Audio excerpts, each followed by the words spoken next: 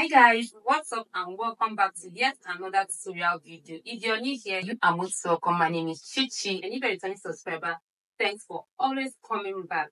So in today's tutorial guys, we are going to be making this beautiful corset skirt I'm sure you are in love with the skirt already. Fun fact, I am so obsessed with the skirt. Like, I am so in love with it. It's so comfortable. It's a corset, but it is not giving you that discomfort that comes with corset on a normal day. I'm so comfortable in this skirt. As you can see, like, I'm so going to rock this skirt. This is so beautiful. Like, this is beautiful. It is so comfortable to walk around it, to sit, to do anything that you feel like doing on a normal day. And that's the good part of this skirt. So guys, let me know your thoughts on the combination. Which of them do you prefer? Do you prefer the black to black? or the animal skin to the black. Please do not forget to subscribe if you haven't. Give this video a like and as always, share your thoughts in the comment section. Without further ado guys, let's dive right into the tutorial.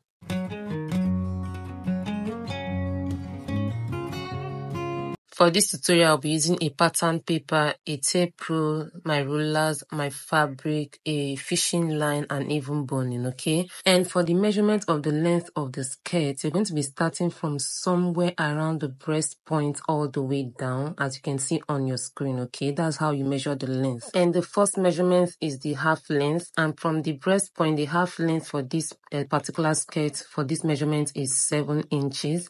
And then you have the hip line from the around the breast point area to be 14 inches.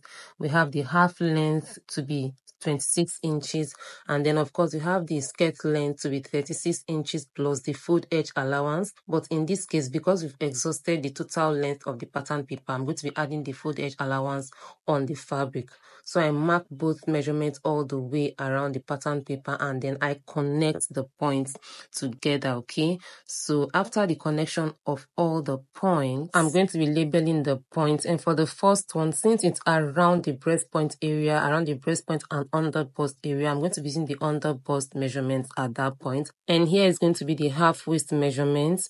And then we have the hip line and of course the half length okay?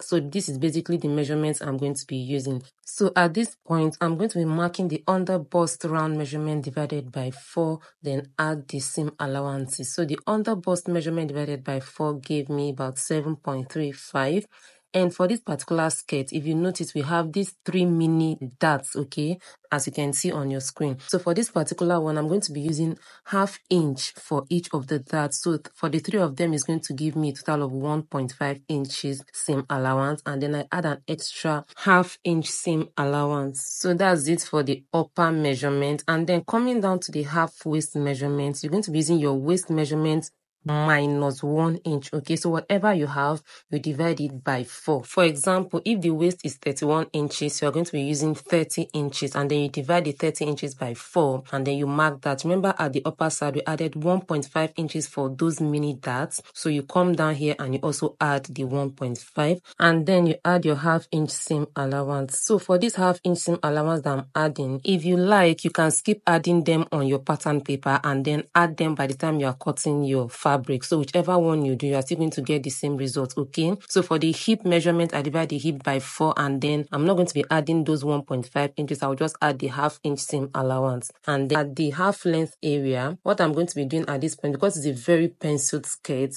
if you're a beginner, you are the reason why I'm doing this. But if you're not a beginner, you do not need this particular uh, step. You already know what to do. Okay. So for beginners, make sure you get your skirt well penciled if you see at this hip line, whatever I get there, that's the total um, hip measurement divided by 4 plus half inch. Whatever I have, I just minus 1 inch at that from there and then I mark at the half length and then at the skirt length as well whatever I have at this half length I just minus half an inch I mark at that point. Okay, I hope you understand the points I just made. So this is basically all I have and I'm going to be connecting the points together. This is for the front part of the skirt. Okay, I hope you understand all the connections and the markings. Like I said, for the hip line and the half length, whatever you have at the hip line, you subtract one inch at the half length, okay, and you mark that.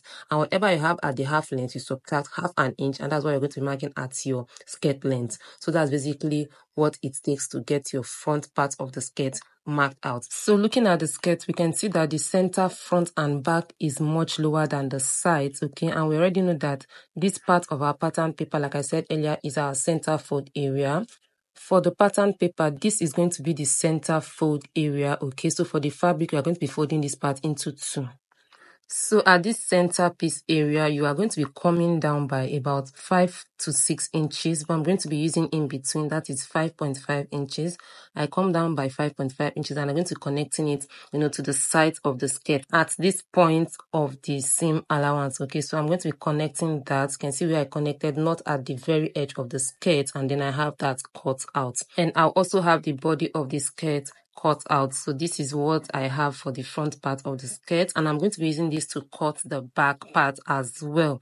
So I place it on the leftover pattern paper and for the back we're going to be adding the zipper allowance of about 1 inch or 1.5 depending on what you have. So I mark out the zipper allowance of one inch at the center back as well. So this is the zipper allowance and then I have the points connected together and this is what I have for the back. And also at the upper part, I, you know, extend the zipper allowance at this point and then I have that cut out. And at this point, our both front and back pattern is ready and we can now use to cut on our main fabric. So I'm going to be proceeding to cutting our fabric with these patterns. So for the fabric, I'm going to be using this uh, scuba-like sample fabric. And as you can see, like I said, this is our center fold area. And for the fabric, I have that point folded into two. So I placed my pattern on it and I'm going to be cutting exactly what I have on the pattern. Like I said, I already added my half inch seam allowance at the side. It's only at the upper part that I'm going to be adding another half inch. And as you can see, the fabric is rumpled, so I have to have it straightened out so that I can cut out perfectly. So like I said, I'm adding half inch at this upper part. So I added that and I have that cut out for the sides. I didn't add anything. I said that I already added my half inch seam allowance when I was drafting the pattern. So that's it for the front. And then for the back as well, I'm going to be doing the same thing like I did in the front cutting. So at this point, we are ready for the main work. I'm sure remember our three minute darts. So it's time for us to apply those darts. And for that, I'm going to be um, dividing each side of the front into three places. But before that, I'm going to be taking out the seam allowance of half inch. Okay, so this is the seam allowance. I take that out. So whatever I have from this point to the center front, I'm going to be dividing it into four to give me those three points. Okay, so I have a total of 10 inches. I divide it by four. Each of them is going to give me 2.5 inches. So I'm going to be marking the 2.5 inches from this point is the first 2.5 and then the next 2.5 and then the last 2.5 okay as you can see i got a total of three points for those mini darts okay? And for the length of each dart i'm going to first of all get the longest dart okay? So for the longest dart that's one at the extreme side I'm going to be taking out about 2 or 2.5 inches from the hip line upward. Okay, so this is what that gives me. So I mark that all the way to the center fold area because this is going to guide the other length of the dart. So I have all the three darts marked out up to that point. And please note that whatever I do to this point is going to be reflecting on the second side or the other side of the skirt. So to get that done, I'm going to be folding each of the darts and have it well pressed out so that it can reflect on the second side or the other side of the skirt. Okay. So I'm going to be doing that to the three darts that we have marked out. So I have that iron dart and for this particular fabric, I'm, I'm going to apply pressure because it is quite thick so that it can, you know, show at the other side. So once I have all that done, I'm going to be opening up the skirt and have it turned to the right side. And this is what we have. So as you can see, we have the lines reflecting on both sides of the skirt. So at this point, remember we already marked out the length of each dart. So I'm going to be repeating that on the right side of the skirt. Okay. So that it's going, so that it can guide, you know, the stitching of the dart. So for the dart lines, I'm going to faintly mark out those lines as well on the right side. So this is the right side of the skirt, just in case you do not know. And I have that all marked out, just like I did to the wrong side of the skirt.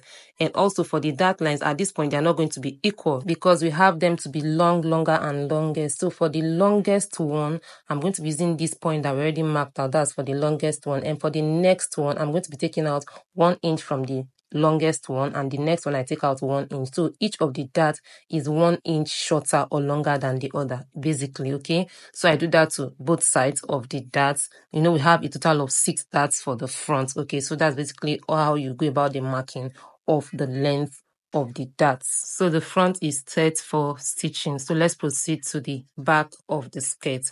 So for the back of the skirt, all you need to do is you just take out your, first of all, you take out your zipper allowance and also your seam allowance, just like we did to the front. You take that out for the back as well. And next, you're going to be measuring this point size from the zipper allowance to the seam allowance. You get the midpoint. So the midpoint gave me about, I think, 5.5 inches. So I have that marked out and just like we measure the length of the dart for the front, you come to the back, you measure that out, and then you have that connected upward like so. So for this point, this is going to be our dart line. The back is not going to have all those three darts like the front, okay? So for this dart line, all I need to do is take this point up and then I fold it into two and have it well ironed out. So after the ironing, I make sure that I have the length of the dart, you know, marked out once again. And at this upper point, I'm going to marking out half an inch and then I connect just like a dart like so as you can see. I have that connected and this point I'm going to be cutting that off. I'm not going to be just you know stitching it. So I have that cut off and this is what the back part looks like okay? So this is what we have for the back of the skirt and at this point all the